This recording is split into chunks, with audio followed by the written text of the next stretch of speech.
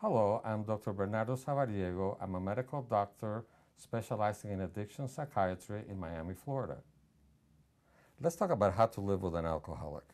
Actually, one question I'm always asked is how do I stop my dad, my husband, my wife from drinking? And the answer to that question is that you can't.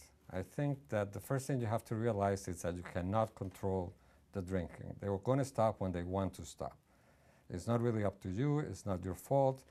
So the first thing is to, is to stop being a victim of, uh, of the situation because it's really not your fault. The person, there's a number of very complicated reasons why the person becomes an alcoholic and it's not your fault. Now the biggest mistake is to enable the drinker. I mean, you can't protect them from the consequences of their drinking. The tendency is to call their boss to give excuses about them being late for work and and to cover up and, and lie to family members about why you couldn't make it to the dinner or to the party. But by denying it and protecting the person, you're enabling them. You are making them avoid the consequences. And taking responsibility is the only thing that eventually going to make them stop.